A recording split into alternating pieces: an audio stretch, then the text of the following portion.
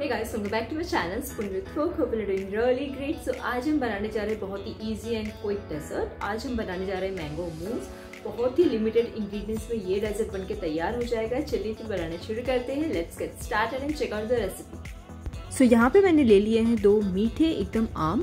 सो mangoes हमें एकदम मीठे लेने हैं। मैंगोज की क्वालिटी डिपेंड करता है कि आपके मैंगो मूस कितने अच्छे बनेंगे। सो so, इसे हम पहले इस तरह से स्लाइसेस में कट करेंगे। इसमें इस तरह से हम कट्स लगा लेंगे ताकि जो मैंगो है वो इजीली हम निकाल पाए। सो स्पून की मदद से हम सारे मैंगोस इजीली इस तरह से निकाल लेंगे।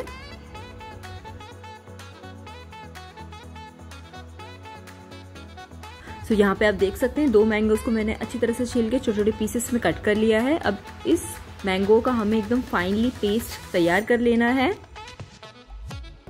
तो यहाँ आप देख सकते हैं मैंगोस को मैंने एकदम बारीक ग्राइंड कर लिया है।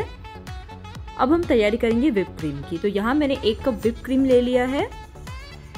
ये थोड़ी सी चिल्ड है, इसे हम विप मशीन के थ्रू अच्छी तरह से विप कर लेंगे।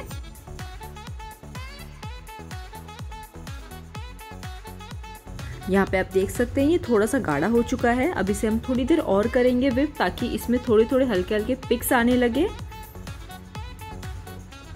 यहाँ पे आप देख सकते हैं, ये अच्छी तरह से विप्ड हो चुका है और इसमें हल्के हल्के पिक्स भी आने लगे हैं। अब सबसे पहले हम विप क्रीम थोड़ा सा साइड में रख देंगे just for the decoration purpose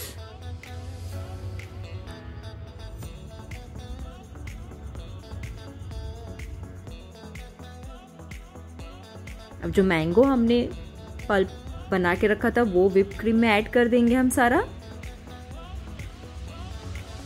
और एक बार और हम विप मशीन के थ्रू इसे अच्छी तरह से विप कर लेंगे ताकि सारे मैंगो अच्छी तरह से मिक्सअप हो जाए विप क्रीम में। सो so, यहाँ पे ये भी कम्प्लीटली रेडी हो चुका है। अब एक पाइपिंग बैग हम लेंगे और उसमें हम थोड़ा सा जो मैंगो वाला विप क्रीम है वो ऐड करेंगे।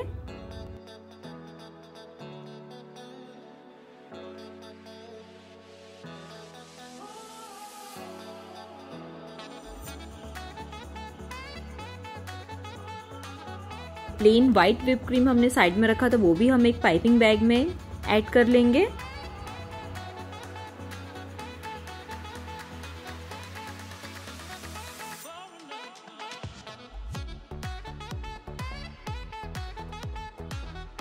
अब एक बाउल या सर्विंग ग्लास आप अपनी पसंद का ले सकते हैं। इसमें सबसे पहले हम ऐड करेंगे व्हाइट विप क्रीम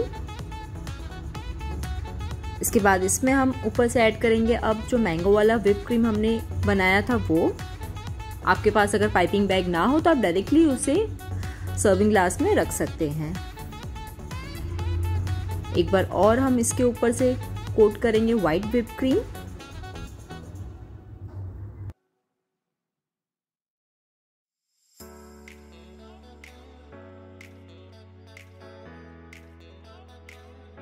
अब इसके ऊपर हम ऐड करेंगे थोड़ा सा मिरर ग्लेस ये कम्प्लीटली ऑप्शनल है। इसे जस्ट मैंने डेकोरेशन पर्पज के लिए यूज़ किया है। आपके पास अगर नहीं है तो आप इसे स्किप कर सकते हैं।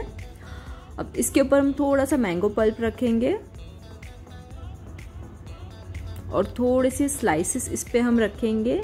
मैंगोज के कटे हुए छोटे छोटे पीसेस वाले। एंड हियर इट इज़ इसे हम एक घंटा चिल करेंगे और फिर ठंडा ठंडा इसे हम सर्व करेंगे।